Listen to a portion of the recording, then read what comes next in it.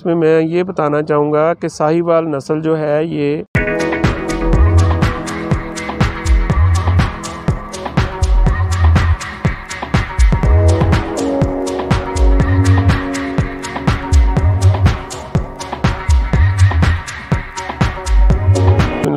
रहीम। Doctor Khalid एक मरतबा फिर आपकी खिदमत में हाज़िर है।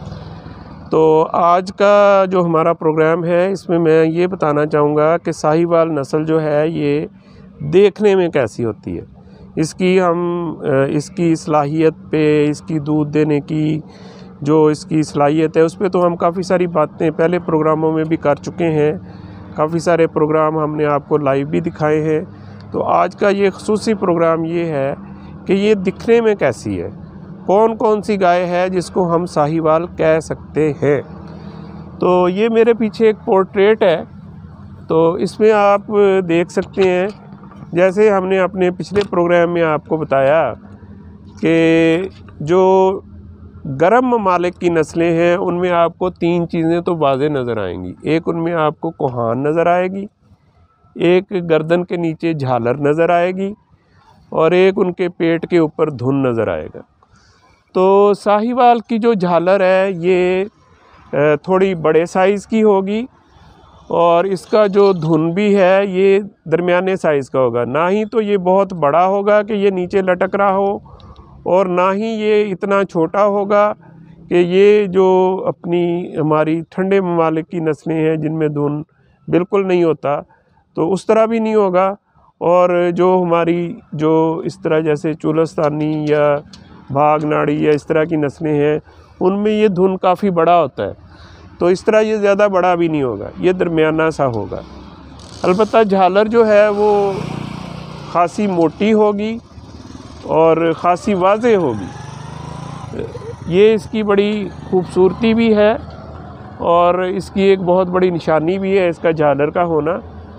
तो ये तीन चीज़ें तो आपको हर उस नस्ल में नज़र आएँगी, जो जिसको हम देसी कहेंगे या जो हमारे गर्म ममालक की है।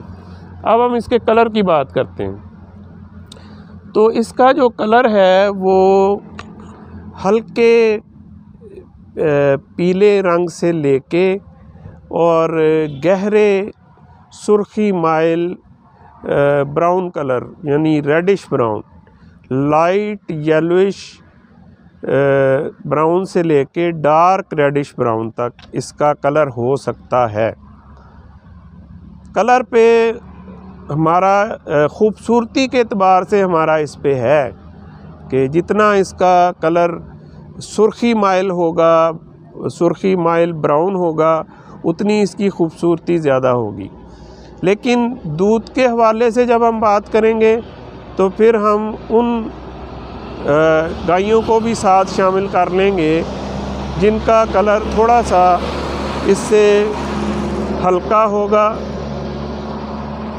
या इससे थोड़ा सा गहरा होगा तो इससे कोई ख़ास फ़र्क नहीं पड़ता। हर लाल गाय को हम साहिवाल नहीं कह सकते। हो सकता है कि उसका रंग बिल्कुल इसी तरह हो, बिल्कुल इससे मिलता जुलता हो, लेकिन उसमें धुन ना हो, या हो सकता है उसमें झालर ना हो, या उसकी कोहान इतनी जो है वो मुनासब ना हो। तो इस तरह की गाय को, हर सुरख गाय को हम साहिवाल नहीं कह सकते। इन तीन निशानियों के साथ उसका रंग, जैसे मैंने पहले कहा कि हल्के पीले रंग से लेके और गहरे, सुर्खी माइल ब्राउन रंग तक अगर उसका कलर होगा तो वो हमारे लिए काबिल कबूल होगा।